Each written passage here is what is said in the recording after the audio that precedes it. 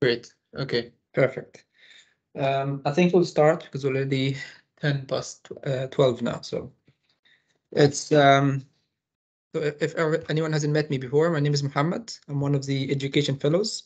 I'm also a plastic surgery registrar here. Been working for about a year with uh, and I'm doing some sessions and help with the IMGs, and we had the uh, a few sessions together. And this is the first session for the forum. Um, it's going to run every two weeks with different topics. This is the first one, which will only be about training and career pathways, but we'll also talk about um, clinical aspects. We'll talk about uh, life in the UK, some advice, and more details about CESR and so on.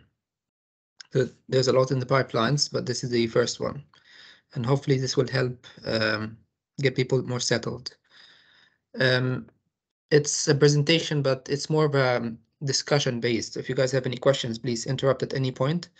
Let me know what you think. If you have anything or any thoughts for the other for the others in the group as well, let me know. And we can always share and discuss. So it's um it's not a teaching, it's a forum. So um we'll start. I've covered a few things to talk about. Um, we'll talk about the training pathways. I'm sure a lot of you are familiar with these but if anyone is not or has recently started, we'll talk about it briefly so we know how the training pathways go. We'll talk about um, how to join the training system as an IMG, which parts you can join in, how to join in there, and so on. And we'll talk about the CREST and the higher CREST forms and how to get them signed as well if needed. We'll talk about other pathways. If you don't want to go into training or if you have other options that you want to consider. We'll talk about these as well. So if you have any questions about these or any things that we don't cover, please let me know. Always discuss. There's also the academic and postgraduate degrees, um, which we'll briefly touch about as well. So I'm sure a lot of you are familiar, but the pathway in the UK is um, a bit long, longer than most countries. Um, this is um, flowchart from a website called Road to UK, which is actually very good, very useful. And it just um, outlines the pathway. So when um, medical school is finished in the UK, they have two years of foundation, foundation year one and foundation year two. And when they finish the foundation, they enter into core training, which is either two years or three years, depending on the specialty or directly into specialty ST1 in some specialties. Um, after they finish the core training or the first early years of training, they apply for ST3, which is the specialty training. This is when you specialize into a special uh, specialty. For example, if you're doing core surgery, you're doing rotations in all, all surgical specialties.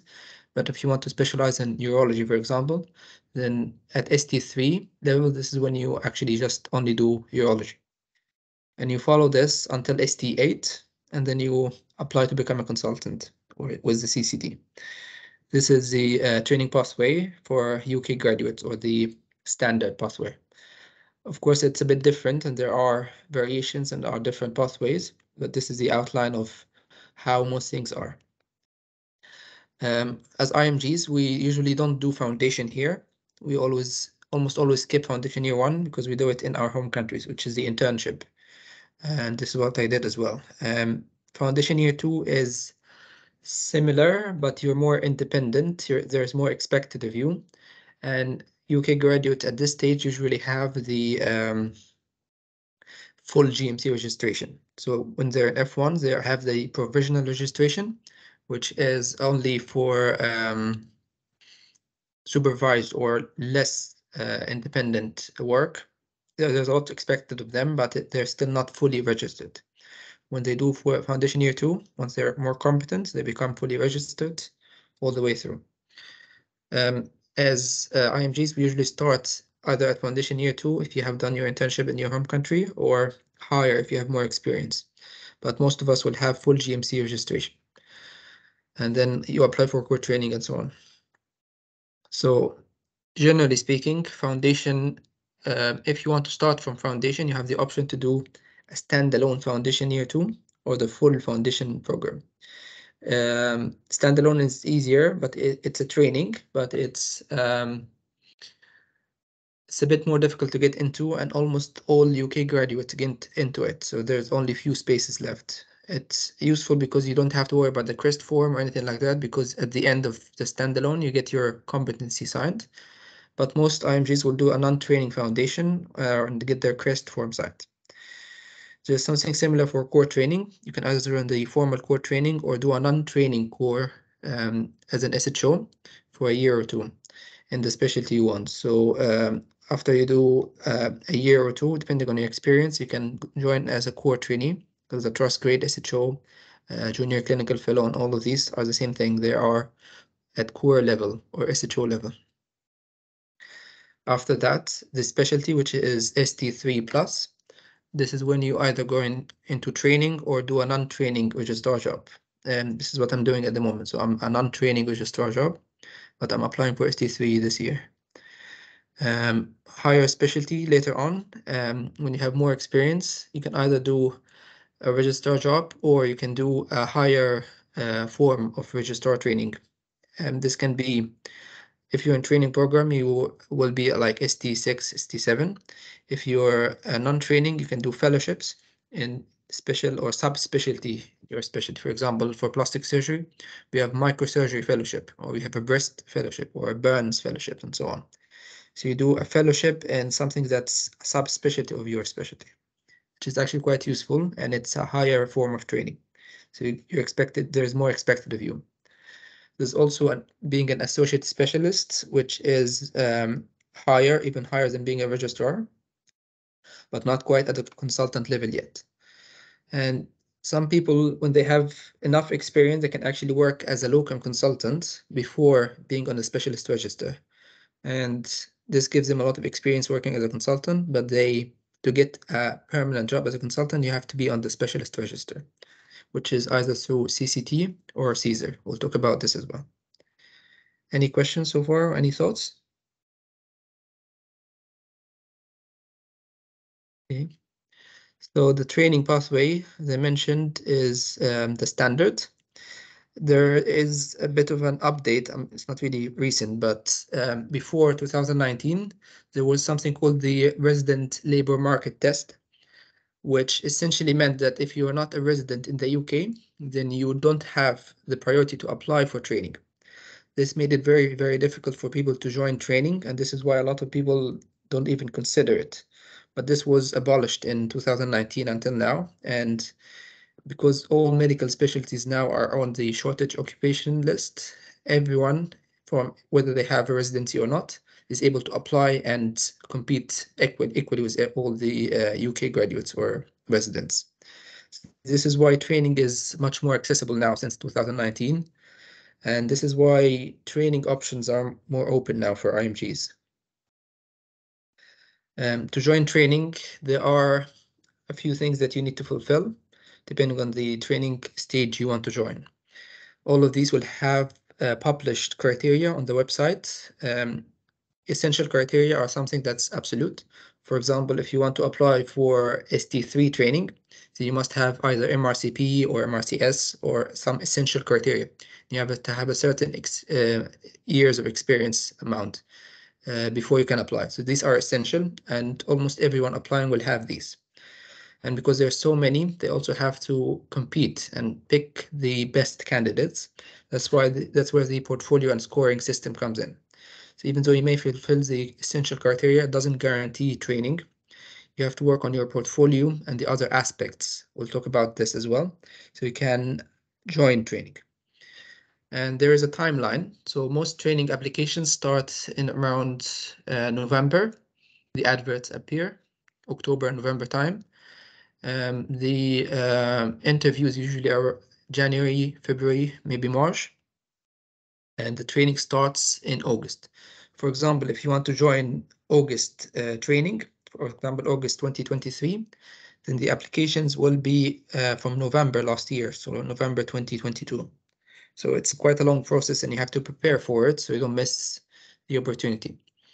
And some specialty, they have the re-advert. The re-advert is uh, a second round of uh, applications, which is around February when they start um, but it's it's different and almost uh, all specialties don't have this anymore. Um, there's a bit of a confusion about something called round two and round one re-advert. They're different. So round two uh, refers to the ST3 applications and round one refers to the ST1 or CT applications. So they are different and this is not the re-advert. The re-advert is when they have uh, posted for a training job. They got candidates, but they didn't have enough candidates applying. So they do another uh, round. This is called a re-advert and it's different from being a round two advert. Any questions about this? I have one question. It says portfolio and scoring. Yeah, Uh, are they two separate entities or is there like a certain score as in exam scores? No, so scoring is um, when you apply for training, depending on the specialty, they will have a self-assessment score. Um, when you apply, they ask you questions and you fill on the application form. That, for example, you get points for research, points for teaching, point for leadership, points for um, your experience in the specialty, and so on. And these scoring systems are used to do a short listing, and whether you get invited to an interview or not will depend on these. The portfolio is useful for this, but the uh, score is what determines your eligibility. That's why it's important to work on these. Okay, thank you. Um, okay, so you guys probably all heard about CREST form. Do you know what it stands for? So it's a certificate of readiness to enter specialty training or the CREST form. And it's essentially um, it's a form that means that you are as qualified as someone who has finished foundation, which means that you are capable of doing the same things that someone who has finished foundation A2 is able to do.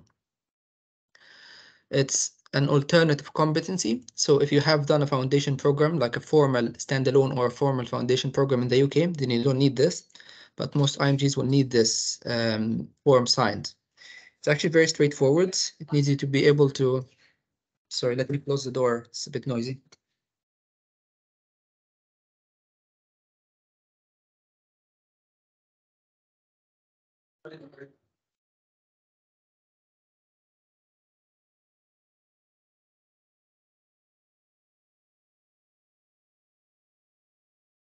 Hi guys, sorry. So I was saying uh, the CREST form means that you are as qualified as someone in foundation or has finished foundation, I mean, and um, this allows you to apply for training. This is the only reason you might need it.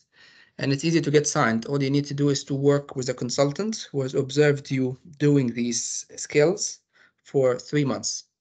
And if they're happy to sign it, then you can get the form signed and essentially you are as qualified as someone who's finished foundation year two. That's the theoretical application of it. It's a bit more tricky to get it signed depending on the consultant. Some consultants are picky because you have to do a lot of competence, but it's very basic stuff. So uh, seeing patients, managing acute emergencies, doing cannulation, doing an ECG, all basic stuff that you learn anyway on the job.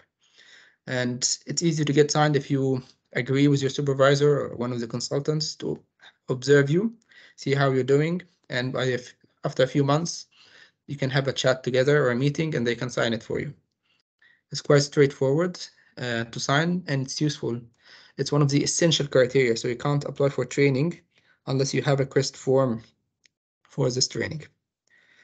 Um, there's something, this is the uh, link for it. Uh, if you search CREST form, this is the last one, which is 2021, which is the one that you need to use. And it has all the tick boxes that you need to fill. So it's very straightforward if you want to go through it. And like I said, if you plan it with your consultant, it's easy to get signed. And this allows you to join at the CT or ST level here. So you're as qualified as someone who has finished foundation year two, and you can apply for core training. Uh, all clear? And this form, does it get signed by your clinical supervisor or Any consultant. So it ha- doesn't have to be your supervisor, but that's the easiest pathway, yeah. And usually you have a meeting with your clinical or education supervisor at the beginning. And if you talk about this, then you can plan to have it signed. They can just keep an eye on, on things.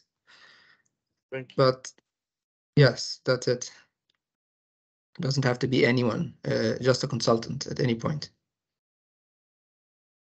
Um, remember that they have to sign all the tick boxes. So if one of them is not signed, then the form is not valid.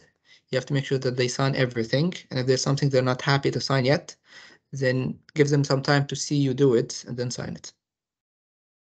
Okay. Uh, this will get you into core training, like I said. If you want to enter into ST3 level here, then you need another form. So either you do a core training program.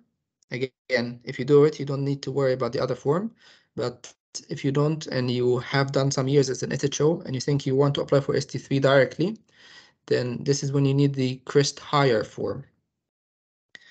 Um, it's the same, it's called the CREST form, but it's the certificate of readiness to um, apply for higher specialty training. So higher specialty is um, on this website, which is the HEE website. The um, this is the body that does the national recruitment for all specialties, and they have a resource bank which has all the forms. It has the CREST form, it has the CREST higher form as well. And like I said, this will allow you to apply at ST3 level. Of course, because this is this essentially means that you're as qualified as someone who has finished core training to someone who finished CT2. It's a bit more demanding. They expect more of you, but again, if you have a meeting with your consultant to observe you and you think that you are as capable as someone who has finished core training, then they are usually happy to sign it. And um, again, this is needed. So if you if you don't have the form, then you can't apply for ST3. Um, and if you join ST3, you stay there for, like I said, um, until ST8, so six years, and then you apply to become a consultant. Um, but not everyone has to apply for training. It's not the only pathway, and it, sometimes it's not the best pathway either. So there are alternative pathways. Has anyone heard of the CESR? No? Or is it CCT? So essentially these two are the only ways for you to become on the specialist register. There's something older called the CESR CP, which is not in use anymore. It's something that was given to someone who uh, joined training from ST3 level directly, instead of being core training and then ST3. Um, this is no longer the case and it doesn't apply. And everyone who joins from ST3 will get a CCT now, which is Certificate of Completion of Training, which means that they can become a consultant. CESR is different. CESR means that you didn't join training, and you did your own um, training in the UK as a trust grade. You worked for five or six years or whatever, and you got all your forms signed, and you're saying that you are as, qualified as a consultant, essentially. It's a rigorous process because you have to prepare a lot of paperwork, a lot of evidence, and you have to apply to a committee to get it approved. So it's a bit difficult, but it is possible. I know a lot of people who have done the CESR instead of going into training, they just do their own trust grade jobs and get their paperwork done and then become consultants. So it is possible, but it is much more difficult, of course. The other option is to become a, an associate speci specialist. This is um, essentially someone who um, focuses on a specific area. They are not as qualified as a consultant, so they don't cover all the aspects of their um, of their specialty, but they are well trained and they have a lot of experience and they work as an associate specialist in a certain area. They can't work independently, so there's always a consultant, but a lot of them have a massive amount of experience. And it's usually, most of them would have chosen this pathway because they don't care about the paperwork or they don't want to bother with all this nonsense. So they choose to do this and have a work-life balance. So it's a different pathway as well and it's also an end of training pathway, which is some people consider as well. Um, there are pros and cons, of course, to each. So if you join the training pathway, you have security because you know at the end of your training, you will get a CCT no matter what. So you finish the six years, you get your CCT or a consultant. You don't have to worry about collecting all your paperwork and uh, will, will it get approved? Will it get rejected? Will, do I have to work for a few more years to get more paperwork and so on? So there's security if you join the training. And there's stability because you're usually in one deanery, which covers one area of the UK. For example, here it's Thames Valley Deanery, which covers Oxford and uh, Aylesbury here. I think um, Salisbury, I think, is part of it. I'm not sure, but all in the same region, so you don't have to go into Scotland, for example, or go west or go and so on. You stay in one area, and you're able to buy a house if you want to buy a house and so on. And as a trainee, you have a priority for training, of course. So um, they are obligated to teach you, and you, they are obligated to uh, make sure that you fulfill all the checklist to become a consultant. So it's more stable, but of course it has some cons. Uh, for example, you don't have any freedom. You stay in the same deanery and you follow their own training pathway. It is, um, this is not the case in non-training pathway. So you can choose where you want to work, you can choose where you want to stay, and you can do uh, fellowships, for example, abroad, if you want to go to um, another country and do a fellowship and come back. So it's much easier to do this as a non-trainee. It can be shorter as a non-trainee, but it can also be longer because you don't have to work for the full six years before you get a CCT. If you have a lot of experience in your home country, then you don't always have to wait six more years to become a consultant. If you have a lot of experience, then you can just apply after a year or two. Um, as a non-trainee, also you get usually get paid more because you're not on the national um, standard rates. You can negotiate, and if you have a lot of experience, then you can get paid a lot more as well. Uh, training is also very competitive, especially in some specialties. So that's why it's difficult to get into. This is not the case in non-training. You don't have to compete with anyone. You just have to fill your own paperwork. That's the pro of non-training. Any question about this?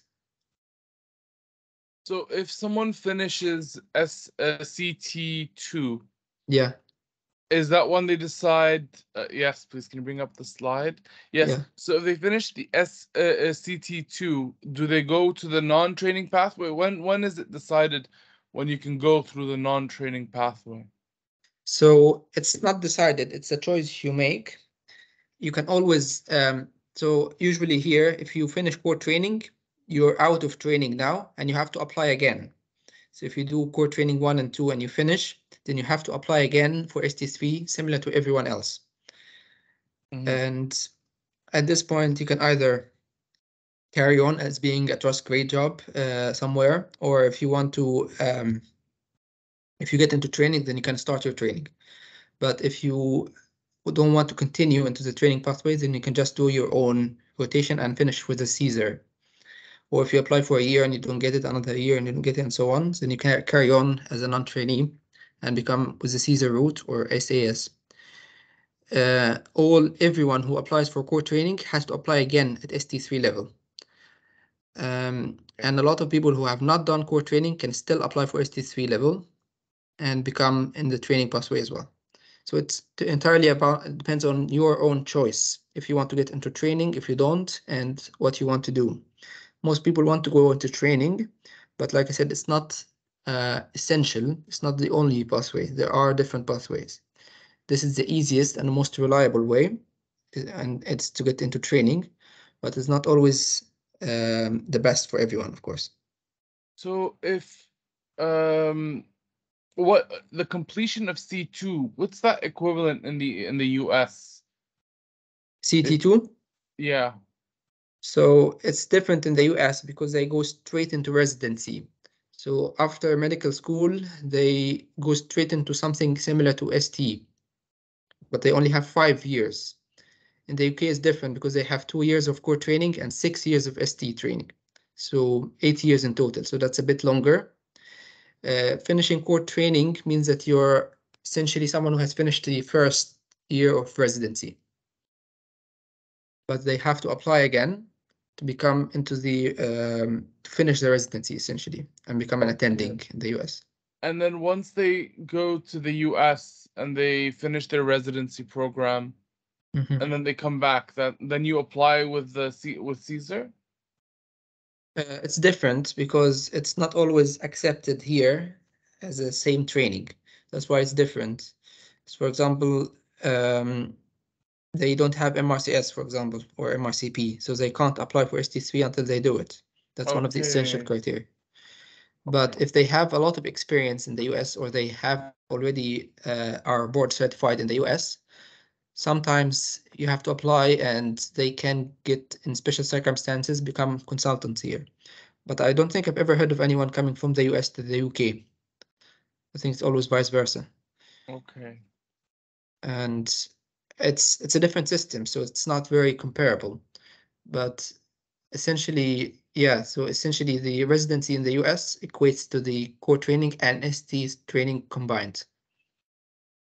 Okay. they- Yeah, they also there, they work much more hours, so they work longer hours and they stay there for, and in the residence, they work much more. So That's why it's a bit shorter. Okay. Thank you. Any other questions, guys? Okay, I know it's a bit complex, but I'll have this uh, recorded. I'll have it on the website. You can always look it up again, and I'll I can email you guys or send you this uh, presentation as well, so you can always look back to it if you want to look uh, look up anything, or if you have any question, just message me at any point. I don't have that much experience. I've only been in the UK for three years, but I've read a lot about this, so I might be able to answer some of your questions. There are people who can give you more details as well if you want. So the last thing I wanted to talk about is academia, because it's an area of uh, confusion. Um, I'm from Egypt, so a lot of uh, in medical school in, in Egypt, a lot of us uh, do a master's degree during the residency, and essentially that's how you progress. It's very different. I think this is the case in a lot of countries, but this is different in the UK. In the UK, the clinical uh, route and the academic route are very separate. So if you have done a master's, this does not mean anything for your training uh, or your clinical training. So like I said, in the UK, you do foundation, core, specialty, and then end of training. But if you do a master's degree or a PhD or an MD or, or so on, it doesn't mean that you will progress faster. For example, you can skip core if you do a master's. No, that's not the case. It doesn't work like this. A master's is useful if you want to do something in addition or supplement to your clinical practice. For example, if you're interested in research, if you're interested in uh, teaching and so on, then you can do a master's in this. And this is a supplement. It's it does not affect your clinical work, doesn't affect you becoming a consultant, but it gives you more options to work in other areas or aspects of the medical career. Uh, for example, if you want to do uh, teaching as a consultant, if you want to be a professor in the university, if you want to do uh, research, lead your clinical trials, and so on, then you have to think about doing a master's or a PhD. But this is, and again, like I said, additional to your training. So you still do the whole 10 years of training and additionally do some more years or a part-time master's or so on. A lot of people do uh, a year out of training to do this, and this can be at different stages. So you can do it after your foundation, for example. So a lot of people in the UK do an F3. You'll hear them talking about I'm doing an F3 or I'm doing an academic foundation program, for example. So they are designed to give you more time to do uh, to look into research or to do another degree, for example. So you can do this at your foundation. You can do in your core or after your core, for example, as in CT3. Again, this is time out of training. So this is like an extra year. And you do it to get yourself more points, but it does not affect your clinical experience at all. It doesn't make it shorter to become a consultant or skip parts. You still have to do the whole thing. So you can do it in foundation, you can do it in core training, you can do it during your specialty. If you're in training, you either join um, something called an academic clinical fellowship, which is like um, a different category of training, but it's very, very competitive. I think they have like five or six in every specialty in the whole UK. So it's, very competitive. Usually people with a lot of experience in research get into that. Or you can do an out of program uh, time. So for example, in the six years of your specialty training, you can apply and take a year or two out to do a master's degree and then come back. For example, if you do it in your ST4, then at the end of ST4, you go out of the program, you spend a year or two doing a master or a PhD or whatever, and come back and start from ST5 again. So you don't skip, you just add it. Uh, but this will allow you to, when you're at the end of your training, to do other things. So if you want to do um, research more, if you're interested in teaching or being a professor or, or uh, in education in, in a university, then you can think about these. If you are interested in leadership and doing some management roles or leading the hospital and so on, then you can do some research into that or masters in, in leadership, interested in innovation, technology, and so on. So this is like an additive that allows you to do more as a consultant than just being a clinician. You can do more by doing these or adding these to your own pathway. I'm sure you guys have heard of uh, of the a lot of these terms. a lot of UK um, graduates do an intercalated uh, BSc. So this means that during the medical school, instead of doing four years or five years, they have an extra year where they do a research uh, project for a year, and then they come out with a BSc. A lot of people do that, but they have to pay a lot more because they are on a loan and they do an extra year. So some people don't, but this is one part that they do. This is for undergraduates, so I don't think it's applicable to most IMGs now. The things that are applicable to IMGs are these three. So the easiest and the shortest one is something called the PG Cert or postgraduate certification. Uh, this is something that can be done, for example, in medical education or in surgery or in research. It's called the PG Cert, which is like um, something slightly uh, less complex than a master's. It takes between nine months and 12 months to finish, and it has a few modules. You can do it part-time, you can do it online, and it gives you a PG cert in the end. So you have you have a, like a title of a PG cert, which you can use. For example, a lot of people do a PG cert in medical education, which is useful, but it is not a master's. But it opens the door to doing a master if you want or you can do a master's degree straight away, which in the UK is between one and two years. There's two types. It's uh, either taught master's, which is essentially like going to the university, taking courses and so on. So most of this is full time. So you have to take time out of your clinical practice to do this. Or sometimes there's part-time masters, which is usually over two years. And the next step is to a PhD, of course, which is four years, and this will allow you to become a professor if you carry on this pathway. This is all, like I said, extra. Not everyone do, does this. Uh, I would say like 10% of people do stuff like that, but it helps opens doors, open doors to you if you want to do other uh, aspects other than clinical. The only thing to be aware of, um, I'm sure a lot of you like me are on uh, a visa in the UK and it's a tier two visa or healthcare uh, visa. And when you apply for a master's or a PhD, unfortunately, you are treated as an overseas.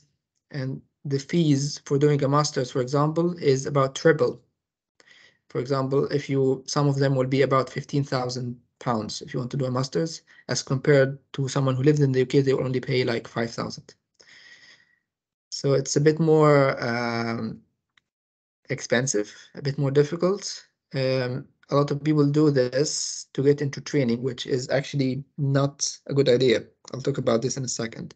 But like I said, if you want to do other um, pathways or other careers, the easiest way to start if you're a junior is to start with a PG cert, which um, is not as expensive, it's shorter, and doesn't um, doesn't separate between uh, UK uh, residents and non-residents. So you pay the same fees. Masters is more complex. And again, like I said, you have to pay more, but you can look for sponsorship, which is a bit more complex, needs more time to talk about this, but it's another option. Or you can do it after you obtain your residency. So you don't have to pay uh, international fees. You only pay the uh, home fees, which is easier, much easier. But of course, everyone has their own choices. Any questions? I know this is a bit of a complex area. Sorry, uh, I'm not sure if you uh, mentioned it or not, but how do you mm -hmm. apply for PG cert? So, um, a research project? Yes, so there is uh, certs in medical education, in research, in surgery, in medicine, in different aspects, in leadership, and they are all offered by universities. So there's a website I can send to everyone um, that sort of like looks into the universities and they put adverts for their own um, PG certs and you can just browse them. There's a University of Scotland, in uh, London, Imperial College, and so on. They all have PG cert programs and you just apply for it uh, through the website. So it's an uh, online application and you pay the fees and essentially you are enrolling into this university to do this PG cert. There's a lot of them. There's some with the Royal Colleges who offer them as well. So they're easy to find and they have different fees. So depending on how prestigious the university is, of course. But they are essentially all the same and some of them are cheap think they are about between 2,000 and 3,000 pounds for the whole year. And like I said, you can get sponsorship sometimes, um, sometimes from the trust. I'm not sure how, I haven't done my, one myself, but essentially you can get some funding and they are not, not as expensive as others and gives you an edge. So that's a good starting point. And you apply for them online. I'll send the, the link to everyone so you can look into options if you want. Thank you, Mohamed. And also with regards to the um, visa, if you're on a PG cert, does that mean that you're not going to be on a tier two visa anymore? No, no, no. So it's um most of these are uh part-time.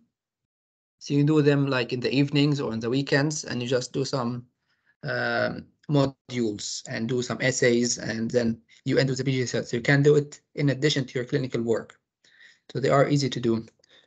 Um, if you want to do that full time and leave your job, yes, unfortunately you have to leave your visa because they don't offer sponsorship for a tier two visa. So if you want to do something like this full time, you will not be on a visa unless if you're lucky enough and you negotiate with the trust to give you uh, time out. You stay with the trust and they give you um, nine months, for example, unpaid to do this PG cert and come back. I think this is very difficult to arrange, but some people might be able to do that if they are um, they have been working in the trust for a year or two, for example, or if they have uh, good relations with the uh, HR and so on. So it's possible, but most of, most people do it as a part-time.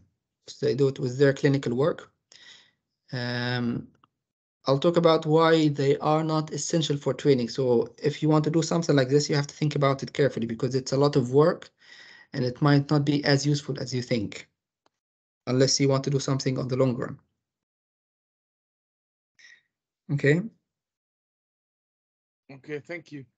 that's right. Um, so like I said, academia and clinical do not replace each other. So if you want to progress into the clinical work, you have to carry on with the pathway of uh, foundation, training, and so on.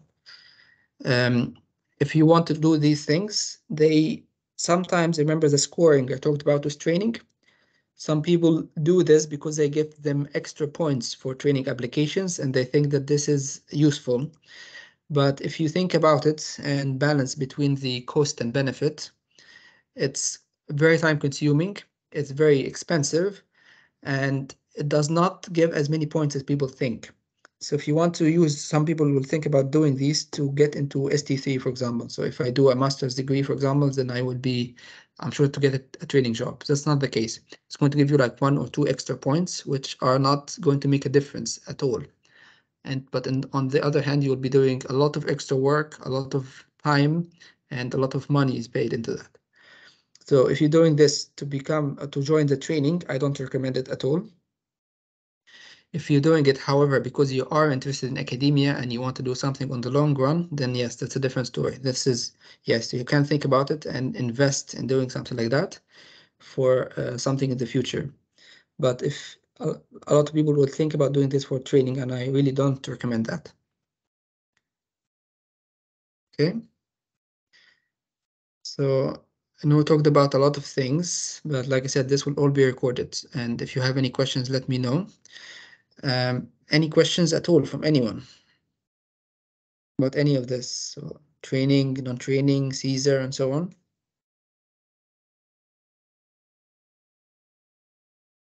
Yeah, great. So I put some um, questions that most people ask and think about.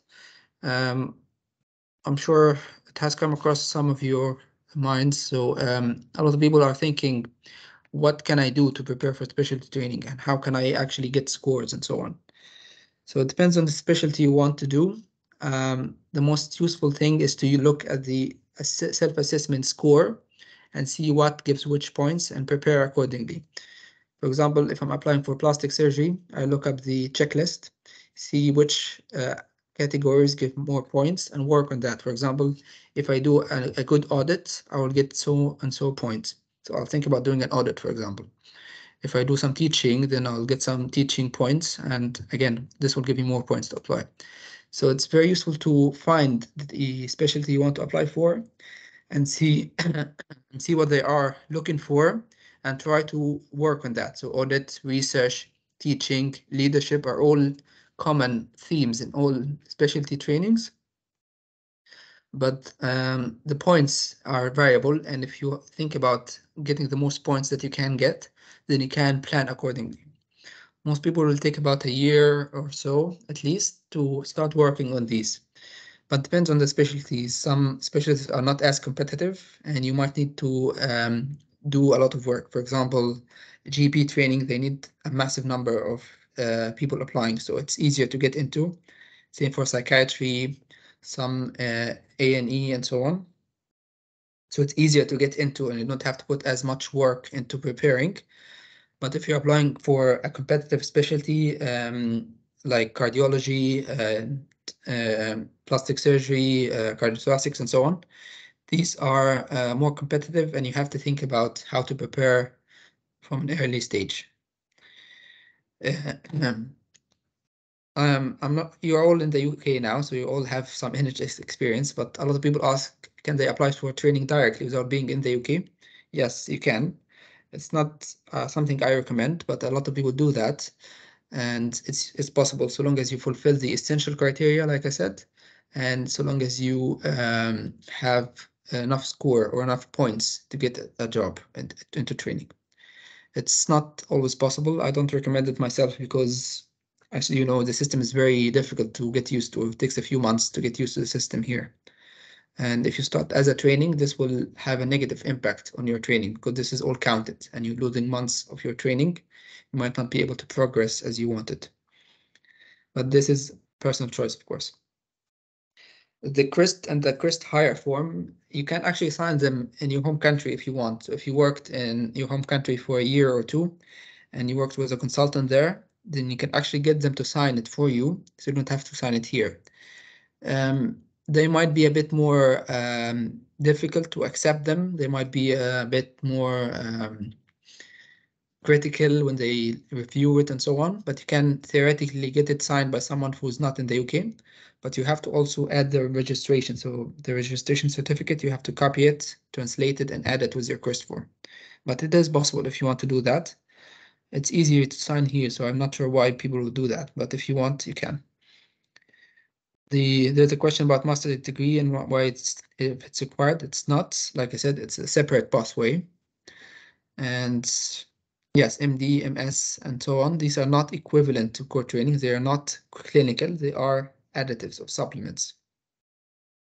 Um, this is a list of a few useful resources. They might be a bit um, older, but they are useful. So the the sites we the site website we have is useful, of course. If you have any questions, if you want to join the activities, it will all be there on the IMG website that we have. And you can also register for the forum. We have Dr. Rodney De Palma. He's a consultant in cardiology who's also from Italy, I think, and IMG. He's going to talk about CESR route, and he's going to go into details about this as well, which is it's going to be a very useful session. We haven't planned when yet, but it's probably going to be within the next um, two or three sessions. So I suspect probably by next month we'll have a date for it. And I really recommend you guys come for this. It's going to be very useful. And it will be one of these forum sessions. So like an hour at lunchtime. There is a lot of Facebook groups. I'm sure you guys are on on them and they are a lot of questions. You can always ask questions there as well. There's a lot of people helping. The Road to UK website is useful. It has a lot of blog posts with information and details. I got the um, timeline from them, so it's useful. There's a website called Omar's Guidelines. It's also very useful and goes into details about um, training and non-training and the paperwork and so on. You can always have it as a reference if you want. Applying for training appears on a website called Oriel, and the specialty training website is the HEE, um, Health Education England, which is the uh, governing um, sort of body for all training applications in the UK. So look look them up, and they will always have useful resources as well. That's everything actually. Uh, does anyone have any questions at all?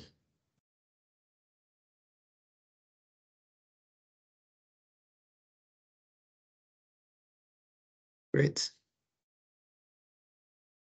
Hope it was useful, guys. And like I said, I'll put this on the website so everyone can uh, view it later on if needed. Um, guys, can I ask a question? Is there anything else you want to do or talk about in the next forum sessions, or should I plan something more generic? Like any requests?